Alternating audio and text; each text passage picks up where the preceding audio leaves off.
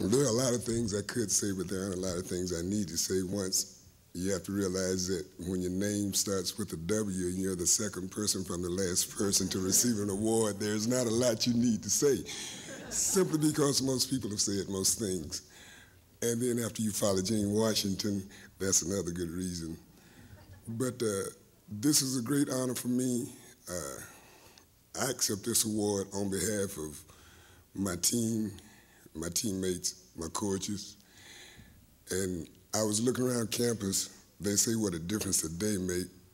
Exactly one year from today, I, uh, of today, I was here, and I see we have a new AD, we have a new president, and we have a new basketball arena. And 25 years ago, I came to Michigan State and found a new family. And this family was my teammates, the coaching staff, and all the fine people associated with Michigan State University. And as Bob Viney and Jeff Richardson and some other guys will tell you, I found a father they called Duffy my daddy.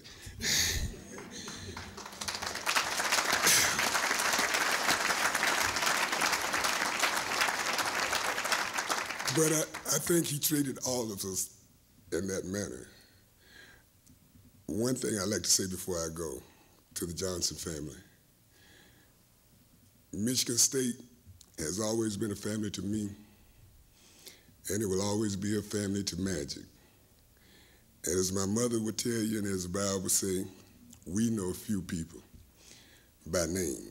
God knows everybody by name and he doesn't make any mistakes. And to the uh, Johnson family, believe me, there is a lot of love and caring at the MSU family and across the country. And all you have to do is keep the faith and believe. Be around positive people and don't let nobody change your mind. Thank you very much.